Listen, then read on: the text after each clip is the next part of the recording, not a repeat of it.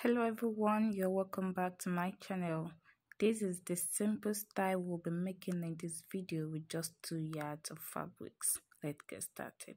For this tutorial i'll be using two yards of fabrics matching thread measuring tape short ruler then scissors pins chalk and long ruler after folding my fabrics into two, I will start by imputing the length of my trouser because we're starting with the trouser first, palazzo trouser. So the length of my trouser plus 2 inches seam allowance. After then, I will determine my waist to hip measurement which is 8 inches. I will add 3 inches to it to determine my crotch and I'm going to just mark a straight line. That's basically what I'm doing. The, the crotch is where I'm going to impute my lap or your thigh measurement. That is what I'm doing here and the hip line. After then I'm going to divide my waist measurement into four and add two inches to it for seam allowance. Into two first then into four my waist measurement is 30 divided by 4, 7.5. I'm marking 7.5 first and adding 2 inches seam allowance to it. Coming to my hip line, I'm imputing my hip measurement. It is 40 divided by 4 that is 10 inches plus 2 inches as well for seam allowance that is 12 inches then my lap measurement divided by 2 plus just 1 inch. I'll be adding just 1 inch to this one. My lap measurement plus divided by 2 plus 1 inch allowance. And i'm going to draw a straight line to help me draw the curve. Then i'll be connecting my waist plus hip to the thigh that is what i'm doing here the waist to the hip then where the thigh measurement stop. You can just use your curve ruler if you have it. If you don't just use your hand to just sketch it out.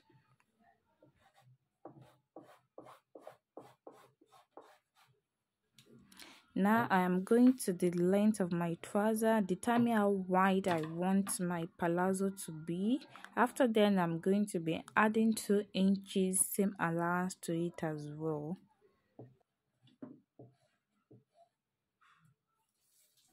now i'll be connecting my tie to the palazzo the wideness of the palazzo connecting to where the tie measurement stop. That's what i'm doing here.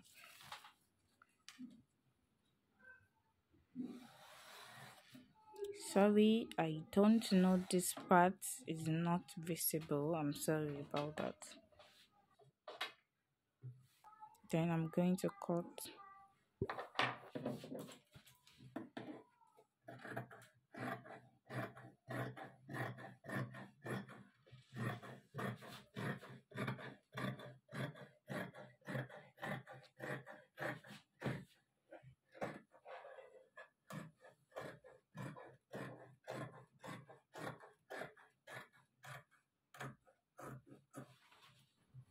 After cutting it out, I am going to place these on another fabric folded into two and cut the same out.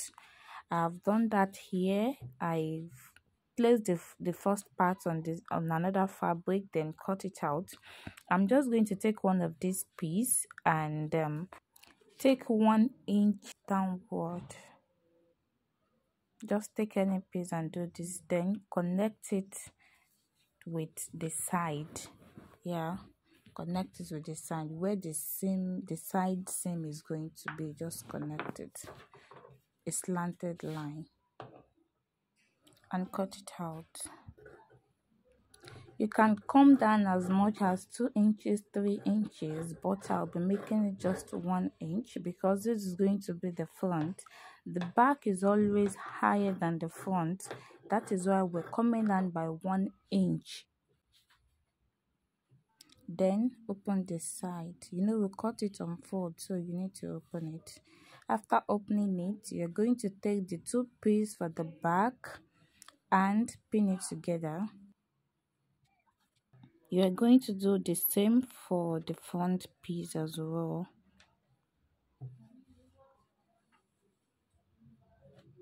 That is the back and now I am placing after pinning together I'm placing it on top of each other so you will see what it looks like before I take it to the same machine.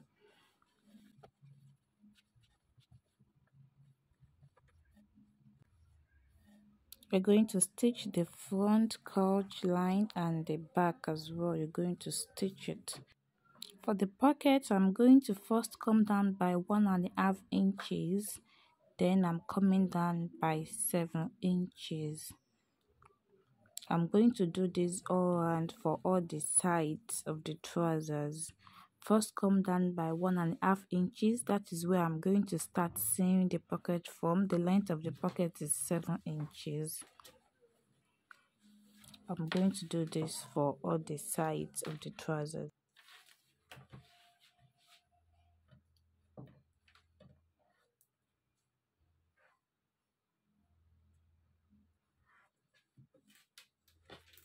Now I am going to determine the length of my waistband by measuring my trouser all round.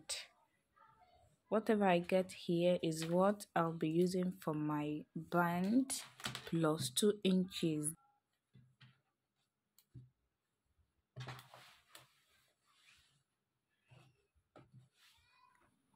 The wideness of the band I cut out is 5 inches and this is the band, elastic band I'll be using. I'm just going to put it inside, then stitch and attach it to my trouser.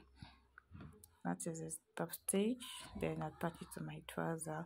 The elastic band I'm using is 2 inches lesser than my actual waist measurement. Now I'm going to take it to the sewing machine and stitch. For the top, I will start by determining the length plus 2 inches seam allowance. Note that my fabric is folded into 4. After then, I will determine my bust point which is 10 inches and my waist which is 16 inches but I will not be needing the waist measurement just marking it out after then I will mark out my neck measurement which is 4 inches wideness and the depth is going to be 3 inches. I'm going to connect it together. So it's 3 by 4. The depth is 3 inches and the up that wideness is 4 inches. After then, I will determine my bust measurement plus 2 inches seam allowance and as well go to the end of the top determine how wide i want it plus two inches seam allowance. The you know the two inches is not just for seam allowance it's also for ease to make the top really free. After then i'll connect the markings together. I'll be needing this line. That was why i did that first. Now i am going to come down by one and a half inches for shoulder slope because I'll be using the entire length of the fabric. I'm cutting the sleeves and the body together. Then I'm going to connect that point, that one and a half inch to the neck point, to the neck measurement.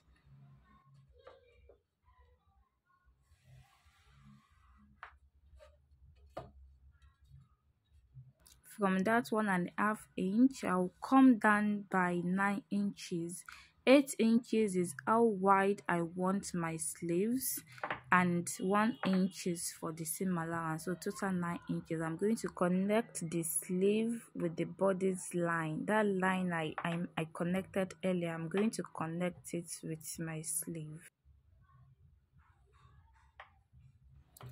And cut it out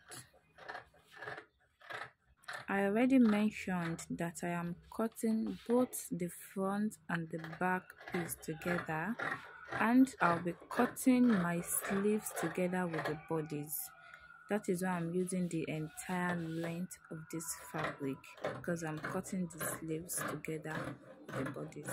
This is me cutting everything out to have the front piece and the back piece separately.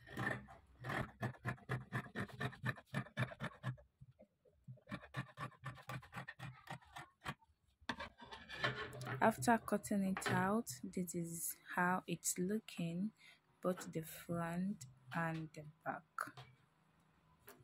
I am just going to fold in the neck and top stitch or you can use your bias tape and also connect the shoulders together.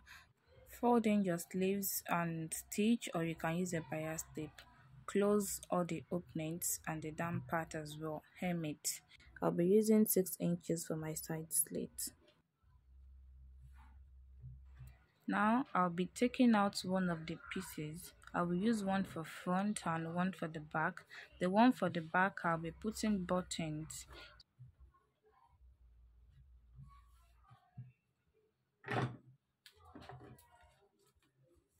So i'm just going to measure four inches downward from the center and open it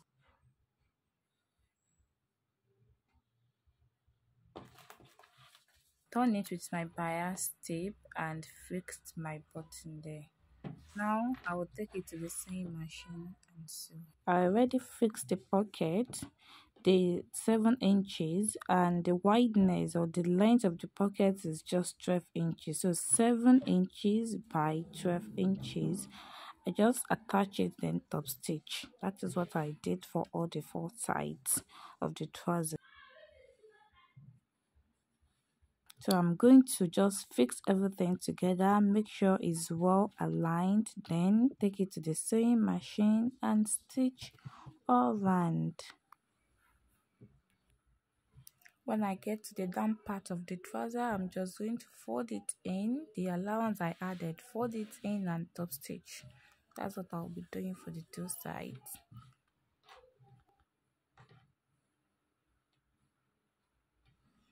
Those are the places I'll be stitching.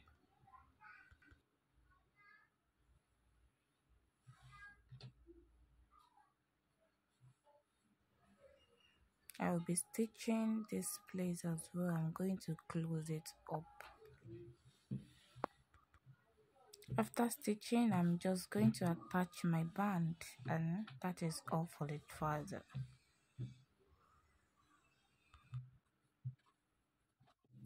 after attaching the front and the back piece of the top together this is what we are having.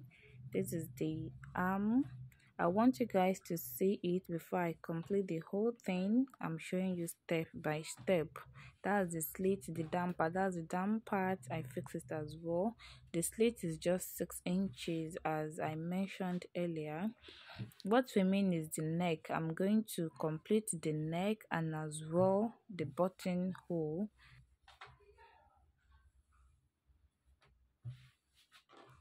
I'm going to turn it in out with my bias then put my button and close the neck. That is what we mean and I'll be giving it a good press. I will see you guys in the next video which is going to be the end of this video. Thank you